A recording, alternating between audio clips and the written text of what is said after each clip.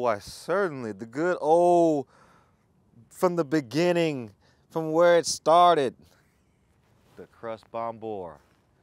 Started out as uh, you know, the the the jump start to Unbound to kind of you know get me into gravel, black rims of course, but then it just went from mild to wild. Uh, had a nice little fun session at Grinduro, fucked up some rims, but uh, velocity came through in the clutch hooked it up with the razzle dazzles here, you know, got a little purple rain action.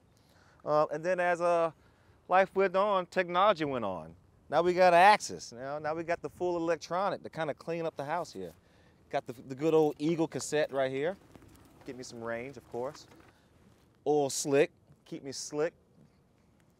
Gotta have brakes, of course, because, you know, now with that hydro shit, gotta go with the old Paul Walls himself. Good old Klampers keep me stopping. Front rear flat mount. Chopped it all the way off. Gave it the little designer look with the nub on the crank arm there. You know, it's keeping it simple. Seat post and stem to match the purple. Give it a little little styling points there, but that's it. It's a good old reliable steed.